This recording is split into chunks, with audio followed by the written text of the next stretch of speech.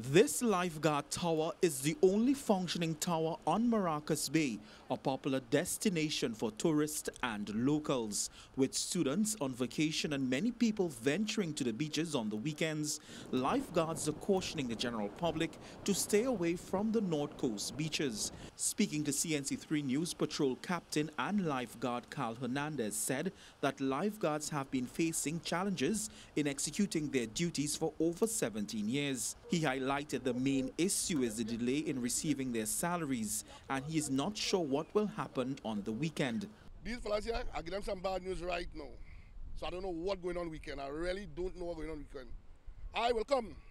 I can't talk for everybody because they have a whole fortnight to fix up their pay. The lifeguards also placed placards in the sand at the beach. Mr. Hernandez said it seems lifeguards are being treated unfairly. How much a lifeguard can take? It's the same lifeguard that working. If you had to come out for call out, it's the same lifeguard. So eventually, I will not watch me.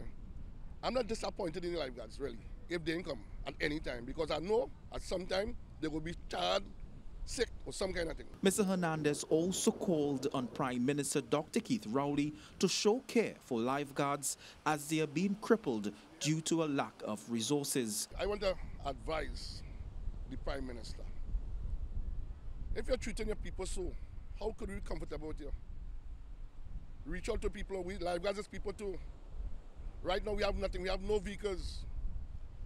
Just gone by there, the jet ski had a problem. That and all, they refused to carry service. CNC3 News attempted to contact National Security Minister Fitzgerald Hinds on the issue, however, calls went unanswered. Otto Carrington, CNC3 News.